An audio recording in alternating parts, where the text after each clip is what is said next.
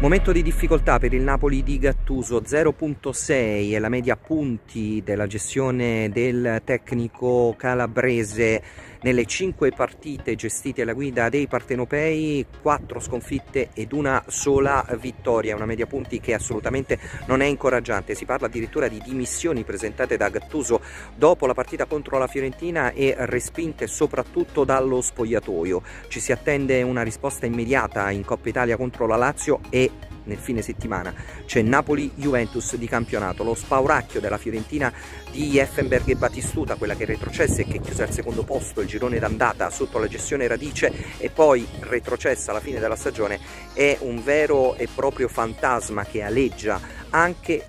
dalle parti della eh, tifoseria eh, bianco-azzurra. Che cosa dire? C'è da dire che serve una scossa, serve una ripresa immediata da parte del gruppo, problemi di natura mentale più che fisica probabilmente nello spogliatoio, problemi che sono sotto i riflettori ormai da tempo e che si risolvono per esempio con la causa tra quelli che vengono definiti Raiola Boys nei confronti di De Laurentiis per le multe decise dalla società eh, del Napoli sotto la gestione Ancelotti per quel ritiro, vi ricordate, dopo la partita contro il Salisburgo, che poi non venne fatto per un ammutinamento, una protesta da parte dello stesso spogliatoio. Da lì una caduta, una discesa libera, una caduta verticale del Napoli in classifica e ripeto, con un grandissimo spauracchio, quello addirittura della retrocessione. Sarà così? Serve una scossa. Una scossa potrebbe essere un nuovo cambio in panchina? Non crediamo. Sta di fatto che però Ancelotti non può essere più ripreso visto che ha fermato per l'Everton,